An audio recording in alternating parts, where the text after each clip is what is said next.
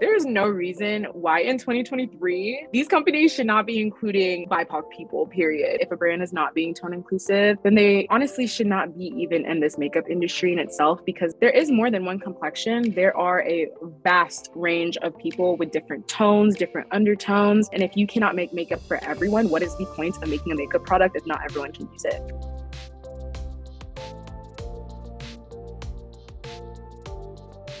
Hi, my name is Golloria George. You might have seen me all over TikTok. I am a beauty slash lifestyle content creator.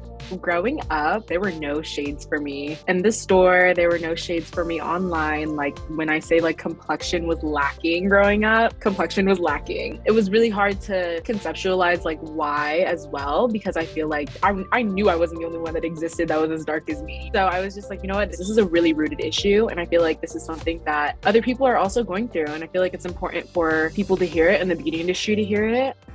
I actually have a series on TikTok across all my platforms called the Darkest Shade series. So I drew inspiration from Nyma Tang. She is a South Sudanese beauty creator. Her resiliency was something that I just always like was just super into and proud of. It made me feel included. It made me feel like I was welcomed in this beauty space. I decided that I wanted it to be a little bit more short form, actually bringing people into the realm of what it's really like to, to shop as a dark skinned Black woman in this beauty space the number one companies that I think that are really like hitting the hitting the mark on tone inclusivity, especially this year, is Haus Labs, Fenty Beauty, and Rare Beauty. I think these three companies, although they are celebrity makeup companies, they're also fairly new, right? All of their complexion products and all the products that they've pushed out are so versatile and they literally work on everyone.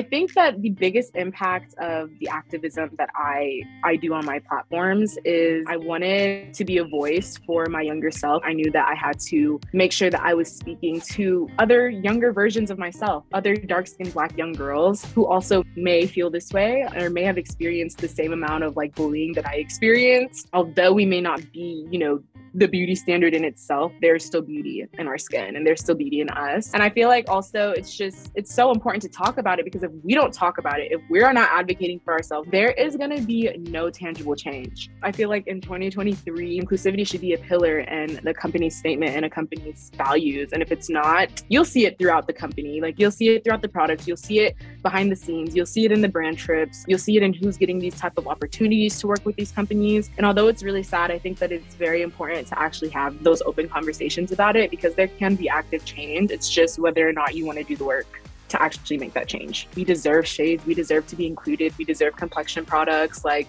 it's literally the bare minimum.